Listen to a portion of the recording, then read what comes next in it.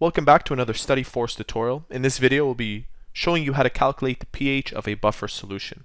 Question 1 reads, calculate the pH of a buffer solution that is 0.100 molar in HC2H3O2, that's acetic acid, and 0.100 molar in NaC2H3O2.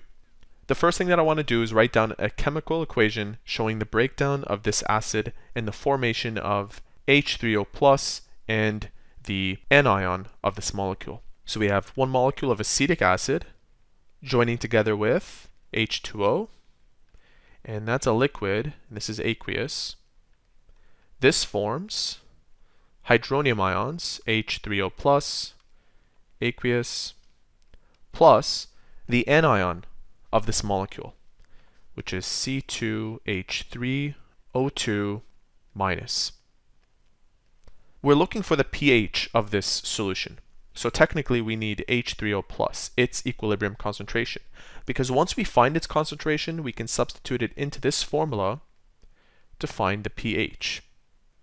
That's the definition of pH right there. So to do this, we need to create an ice table. ICE, where I represents initial, change, and equilibrium. We're told the initial concentration of acetic acid, it's 0.100 molar. We don't care about the concentration of water because it is in its liquid form. And it's not in the equilibrium expression anyway. For hydronium, this one, since acetic acid is a weak acid, it won't dissociate completely. So we write down that it's approximately equal to 0 molars. And we're told in the question that the anion eventually will couple with sodium and its concentration will be 0.100. So I'll write down 0.100 molar. What we're looking for is the equilibrium expression, this last row. To find out that expression, we have to set one of these molecules as x for the change. I'll set this one as x, and it doesn't matter which one you set as x.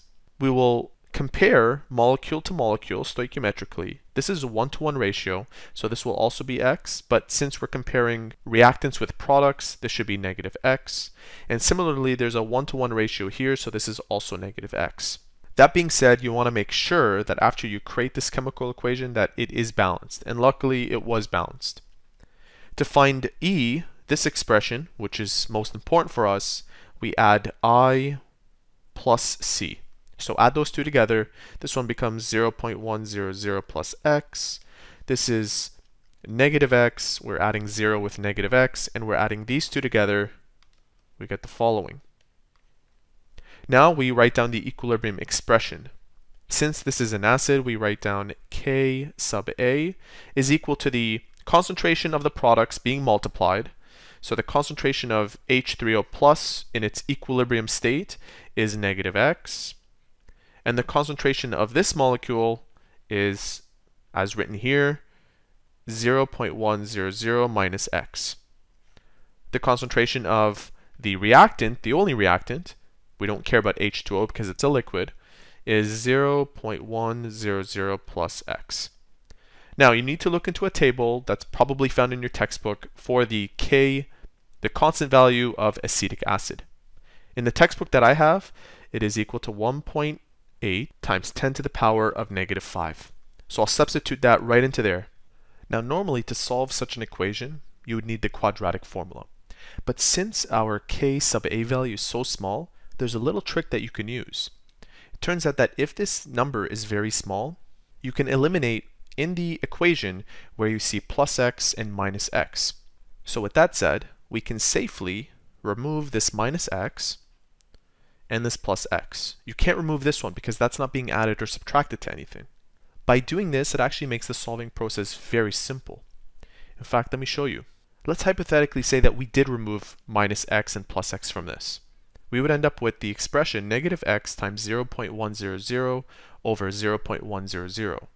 You can then cancel these two out, leaving you with 1.8 times 10 to the power of negative 5 is equal to negative x dividing both sides by negative 1 to eliminate this negative 1 in front, we end up with negative 1.8 times 10 to the power of negative 5 is equal to positive x. So I've just removed that negative. Now, of course, you want to make sure that your assumption of removing the plus x and the minus x is correct. So what you can do is find the percentage of this number compared to 0.100. And if it's less than 5, then you've made the correct assumption. So negative 1.8 times 10 to the power of negative 5 divided by 0.100 times 100%. And ignore this negative. So 1.8 times 10 to the power of negative 5 divided by 0.1, the number at the bottom, times 100 gives us 0.018%. That's less than 5, so the fact that you removed the plus x and the minus x is a good assumption to make. This value right here represents x, and now I can substitute that right into here to find the concentration of H3O+. So the concentration of this molecule is exactly this number, except the positive version.